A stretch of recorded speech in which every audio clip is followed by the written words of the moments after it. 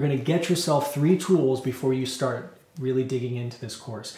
You're going to have your tuner, your timer, and your metronome.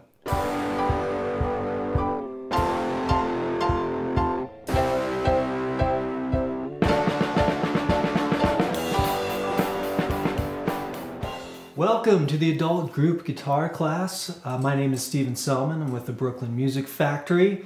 Um, this class is designed for uh, either the complete beginner, you've never picked up a guitar before and you want to get started, or uh, maybe you've dabbled a little bit but you're ready to um, seriously take your skills up another notch.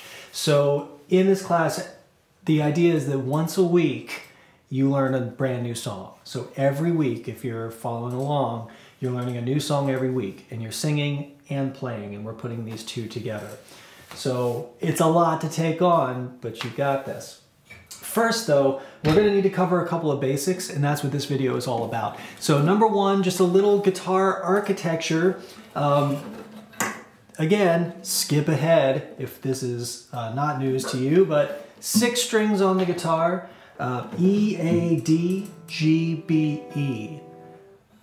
Eddie ate dynamite, goodbye Eddie. One more time. Eddie ate dynamite. Goodbye, Eddie. E-A-D, G-B-E. You'll never forget it. Here are the frets. The frets are literally these pieces of metal wire.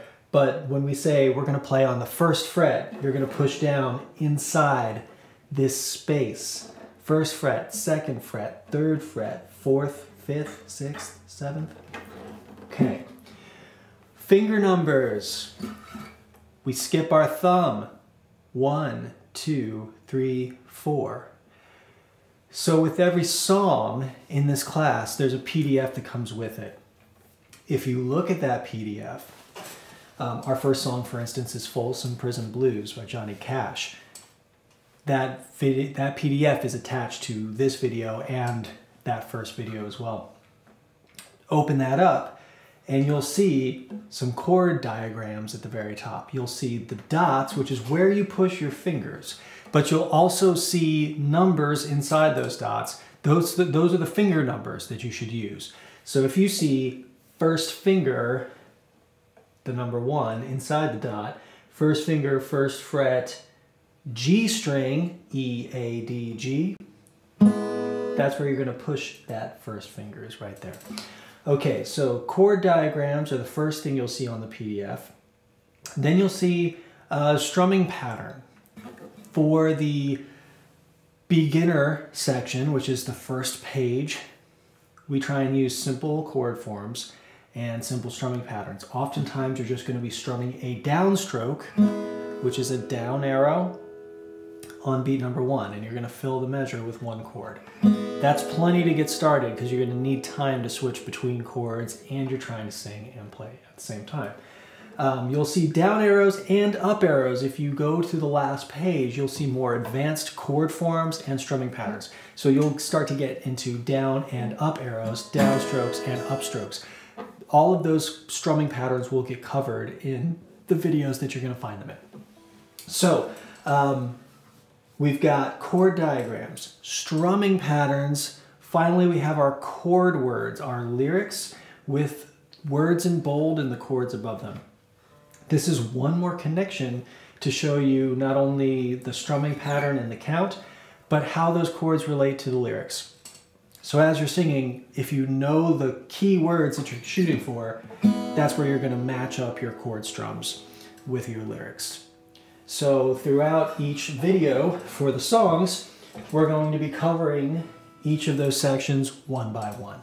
The chords, and we'll talk about how to practice the chords, some tips for making them work for you, the strumming patterns, and the chord words, the lyrics with the chords matching. Now let's talk about some tools that you're gonna need to set up a practice routine for yourself. Really just three things a tuner, a timer, and a metronome. For a tuner, you might already have some kind of a clip-on tuner. Snark makes a really good clip-on tuner. Um, I am going to recommend Guitar Tuna. It is an app. Just about all of us have a smartphone. and this tuner is kind of the only tuner I really recommend anymore. Um, Guitar Tuner is just very intuitive to use and it's very easy to see where you are, too low or too high. I recommend leaving it set to auto. You can tap the individual uh, string names and you can hear what that string sounds like. You just got to remember that if you move on to another string, you either need to tap auto again or you need to tap that next string. Otherwise, it doesn't know what it's listening for. So that's one place where folks get stuck. So Guitar Tuna is going to be your tuner. Next, check out Tempo. This is another free app. Tempo is a simple metronome and I'll just direct you to a couple of spots. On the bottom, there's the word tap. If you tap on the word tap in time, you get to tap out your tempo. You can also use the plus and minus keys to, uh, to change your tempo that way. And then you've got this 4-4 bottom left. You can change that to 3-4, 4-4, or any time signature you want. You're probably just going to be messing around in 4 and 3. And then this uh, quarter note bottom right, that is your subdivision. So you can hear eighth notes on the beat. You can hear quarter notes. I would recommend leaving that right where it is on a quarter note. Last but not least, a timer. Again, use the, uh, use the timer on your smartphone. Feel free to use an analog timer if you have one. But uh, why a timer? Because when you're practicing, doing something for five minutes straight is huge. Doing something for one minute straight actually feels like a long time when you set a timer. So when I say spend five minutes um, doing an exercise like tap your knee, which we'll cover in our first song video, um, setting a timer for five minutes and working on one chord or the transition from one chord to another, that's a very long time to be practicing one thing. So use your timer and um, that is a really clear way of measuring your, your practice routine. Um, as far as metronomes go, one last point on that, if you happen to have a digital keyboard at home, a lot of people do, there's often a metronome built into that or a drum beat that you can trigger and um, change the tempo for. That would serve the same purpose. So you can play along with that drum beat or that keyboard metronome as well. So to recap, you've got uh, your PDFs, which you'll always be referencing for every song. On that PDF, you'll see a chord diagram, a strumming pattern, and your lyrics with the chord words in it. And you're going to get yourself three tools before you start really digging into this course. You're going to have your tuner, your timer, and your metronome. That's it. Go gather those tools, get yourself tuned up, and I'll see you in the first video for Folsom Prison Blues.